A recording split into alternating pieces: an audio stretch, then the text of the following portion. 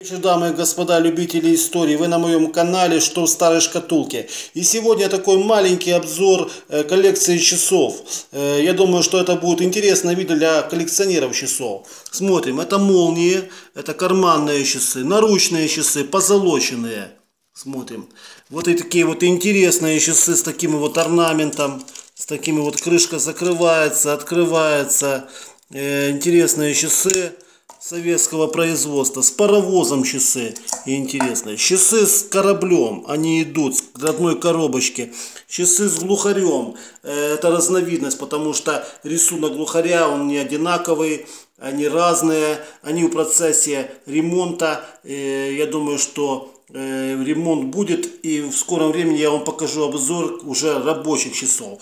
Э, спускаемся вниз, такие вот большие часы. Это все покупалось у людей, у населения. Все в процессе работы. Некоторые идут, некоторые нерабочие. Я думаю, вам видео понравилось. Поддержите меня классами. Новый канал, развивающийся. Напишите в комментариях, что вы хотите увидеть э, в видео, моих видео. И я буду снимать для вас, все для вас, мои хорошие дорогие. Думаю, что видео понравилось. Поддержите меня классами. Всем хорошего вечера, дня. Берегите себя. Всем пока. Удачи.